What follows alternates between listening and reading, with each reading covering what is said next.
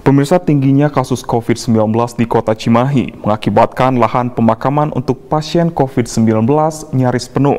Terkait hal tersebut, akhirnya pemerintah kota Cimahi menyiapkan lahan baru dengan kapasitas 270 lubang pemakaman.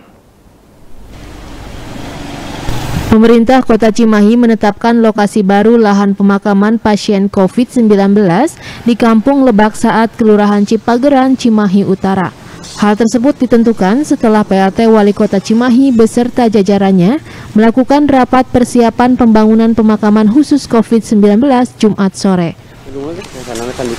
PLT Wali Kota Cimahi Ngatiana menyebutkan, lahan TPU baru bisa menampung 270 makam pasien COVID-19.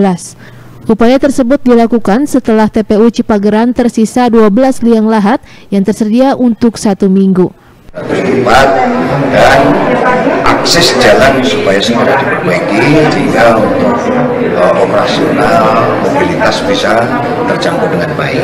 Nah, itu segera dilaksanakan karena uh, tempat pemakaman yang ada di Cipageran hingga sekarang tersisa 15 maka apabila kita keputusan yang cepat dikhawatirkan seminggu lagi seminggu lagi nanti sudah kehabisan berubah kita segera ambil langkah untuk tempat pemakaman yang disediakan Berdasarkan data dari Dinas Kesehatan Kota Cimahi, total kasus COVID-19 berjumlah 2.247 kasus dengan angka kesembuhan mencapai 1.662 atau 72 persen.